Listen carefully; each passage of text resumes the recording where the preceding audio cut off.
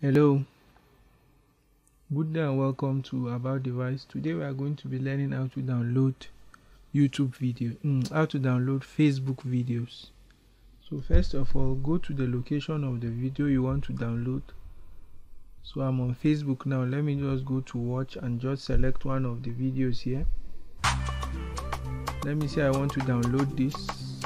Go back so let me say i want to download this video. Any video you see all you have to do is what? Right click on the video. So you now click on what? Show video url so you could see this box will come out and you could see that this is the video url all you have to do is what? Copy the video url so on copying the video url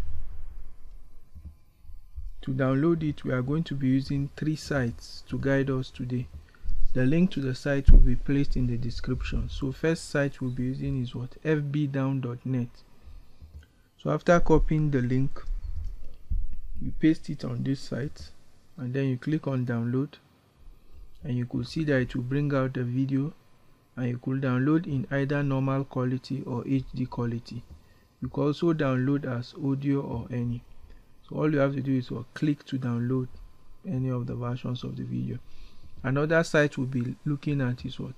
Fbdownloader.net fbdownloader.net you paste the video and then you click on go. So with this it will start loading the video and you can see that brought out the video. You could download it in either SD quality or what? HD quality. Or you could even download as mp3 so you could see this is a way to download the Facebook video the last website we'll be looking at is what? Get fvid so you could paste the video url and then click on download. Then to load the video. You could download also in what? Hd normal. You could also download audio. And you could also click on what? Save to dropbox if you want to save it to dropbox. So hope with this you've learned how to download facebook videos please like share and subscribe to about device.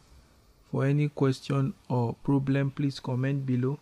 Thanks. Please like and subscribe to about device. Thanks for watching this tutorial